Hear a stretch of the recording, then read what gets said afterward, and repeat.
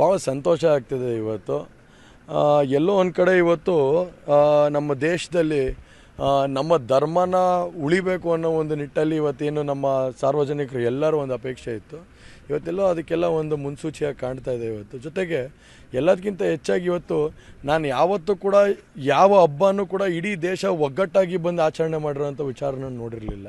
ಆದರೆ ನಿನ್ನೆ ಎಲ್ಲಿಂದ ಎಲ್ಲೋದ್ರೂ ಕೂಡ ಒಂದು ಹಬ್ಬದ ವಾತಾವರಣ, ಒಂದು ವಿಶೇಷವಾಗಿ ಪ್ರತಿಯೊಬ್ಬರು ಮನೇಲೂ ಎಲ್ಲೋ ಒಂದು ಕಡೆ ಹಬ್ಬ ಆಚರಣೆ ಆಗ್ತದೆ ಅನ್ನೋ ಒಂದು ಭಾವನೆಯಲ್ಲಿ ಇವತ್ತು ನಮ್ಮ ದೇಶದಲ್ಲಿ ಒಂದು ಹಬ್ಬ ನಡೆಯುವಂಥ ಕೆಲಸ ಆಯಿತು ನಿನ್ನೆ.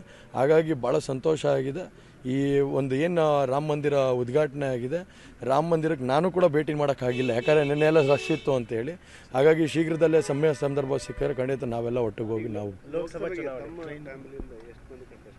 ಅದು ನನಗಿನ್ನ ವಿಚಾರ ಗೊತ್ತಿಲ್ಲ ಸರ್ ಅದು ಕುಮಾರಣ್ಣನ ಕೇಳಬೇಕಾಗತ್ತೆ. ಹಾಗಾಗಿ ಅಲ್ಲ ನಾವೀಗ ಸಿಟ್ಟಿಂಗ್ ಎಂ ಪಿ ಇದ್ದೀನಿ ಸೊ ದೊಡ್ಡವ್ರು ನೆನ್ನೆ ಅನೌನ್ಸ್ ಮಾಡಿದ್ದಾರೆ ಸೊ ಆಗ ಕಂಟೆಸ್ಟ್ ಮಾಡಲೇಬೇಕಾಗುತ್ತೆ ಮಾಡ್ತೀವಿ. ಥ್ಯಾಂಕ್ ಯು ಥ್ಯಾಂಕ್ ಯು ಭಾಳ ಸಂತೋಷ ಆಗ್ತಿದೆ ಇವತ್ತು.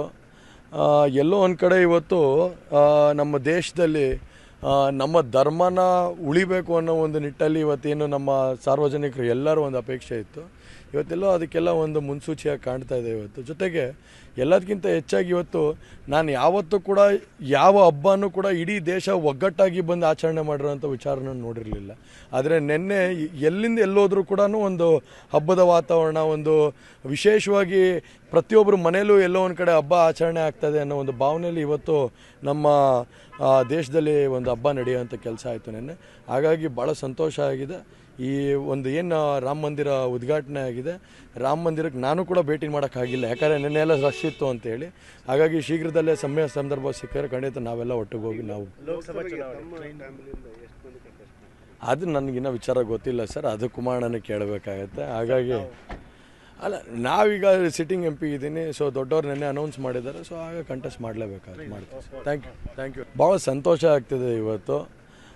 ಎಲ್ಲೋ ಒಂದು ಕಡೆ ಇವತ್ತು ನಮ್ಮ ದೇಶದಲ್ಲಿ ನಮ್ಮ ಧರ್ಮನ ಉಳಿಬೇಕು ಅನ್ನೋ ಒಂದು ನಿಟ್ಟಲ್ಲಿ ಇವತ್ತೇನು ನಮ್ಮ ಸಾರ್ವಜನಿಕರು ಎಲ್ಲರೂ ಒಂದು ಅಪೇಕ್ಷೆ ಇತ್ತು.